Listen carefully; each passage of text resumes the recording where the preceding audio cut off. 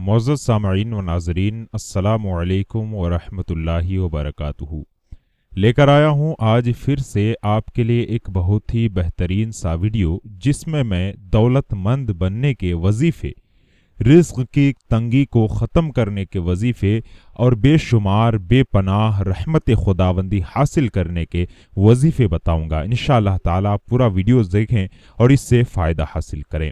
اللہ تبارک و تعالی جسے چاہتا ہے ایک پل میں امیر سے امیر ترین انسان بنا دیتا ہے اور جسے چاہتا ہے ایک پل میں غریب سے بھکاری تک کا راستہ دکھا دیتا ہے۔ لیکن یہاں پہ جو میں اعمال بتانے والا ہوں، اس سے آپ اللہ تعالیٰ کو راضی کر سکتے ہیں، جس سے اللہ کے رحمت کے دروازے اور اللہ کے رحمت کے خزانے آپ کے لیے کھل سکتے ہیں۔ یہ بارہا تجربہ شدہ ہے جو اعمال بتائے جائیں گے۔ یہ بہت سارے لوگوں نے تجربہ کیا ہے اور خاص کر کے بہت سارے اللہ کے ولی تھے جنہوں نے ان تمام اعمال کو اپنے ورد میں رکھا، ان تمام وظیفے کو اپنے ورد میں رکھا اور انہوں نے بے حساب اس کا اجر پایا اور اس کے ساتھ ساتھ بے پناہ دولتیں حاصل ہوئی۔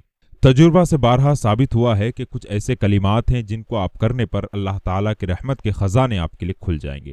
سب سے پہلا وظیفہ ہے سبحان اللہ و بحمدہ، سبحان اللہ العظیم و بحمدہ استغفر اللہ ایک بار اور سن لیں، سبحان اللہ و بحمدہ، سبحان اللہ العظیم و بحمدہ استغفر اللہ اس کو باوضو قبلہ روح ہو کر روزانہ فجر کی نماز میں سنت اور فرض کے درمیان، آپ نے سنت فرض، فجر کی سنت پڑھ لی اس کے بعد اب فرض نماز کے لیے آپ تھوڑی دیر انتظار کریں۔ اس کے بیچ میں جو وقت ملتا ہے، وقت نکلتا ہے، وقت جو آپ کے لیے ٹھہرا ہوا ہے، اس میں آپ کو سو مرتبہ یہ کلمات ادا کرنے ہیں۔ سبحان اللہ و بحمدہ، سبحان اللہ العظیم و بحمدہ استغفر اللہ ان کو آپ سو مرتبہ پڑھنا ہے اور ڈیلی اس طرح پڑھتے رہیں۔ انشاءاللہ تعالی بہت جلد مالدار بنا دیتا ہے یہ وظیفہ۔ یعنی اللہ تعالی خاص رحم و کرم اور فضل کی بارش عطا فرماتے اس انسان پر، جو کہ اللہ تبارک و تعالی کو پاکی کے کے ساتھ ذکر کرتا ہے، پاکی کے ساتھ یاد کرتا ہے۔ لیکن یاد رہے، یہ وظیفہ کرنے سے شروع میں گیارہ مرتبہ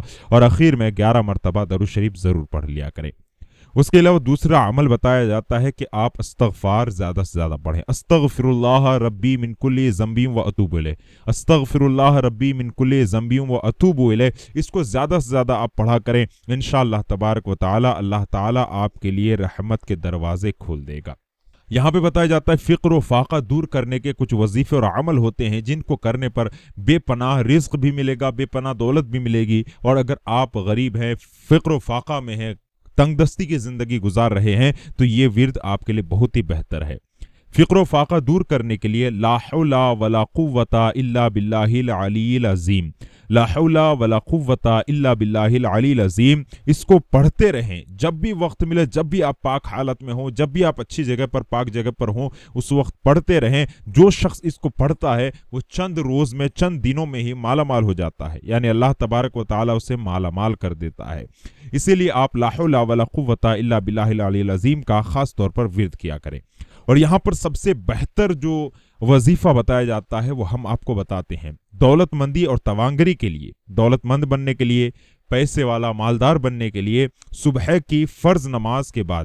صبح کی آپ نے فرض نماز ادا کر لی، فرض نماز ادا کرنے کے بعد یعنی فجر کی نماز ادا کرنے کے بعد روزانہ پچیس مرتبہ سورہ ازا جا نصر اللہ۔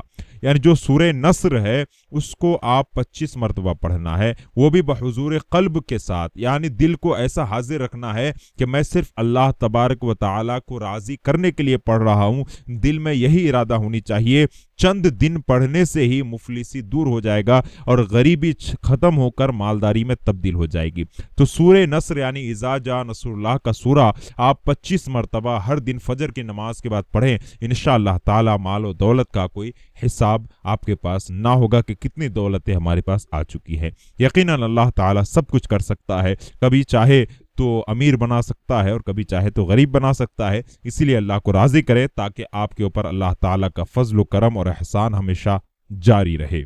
امید کرتا ہوں آپ سبھی کو یہ ویڈیو بڑا ہی پسند آیا ہوگا۔ اچھی لگے تو لائک کر دیں۔ ہمارے چینل کو سبسکرائب کر دیں اور اپنے دوست و احباب کے ساتھ اس ویڈیو کو شیئر بھی کریں تاکہ سبھی کو یہ تمام چیزیں معلوم ہو سکے اور سبھی کی مفلسی اور غریبی دور ہو سکے۔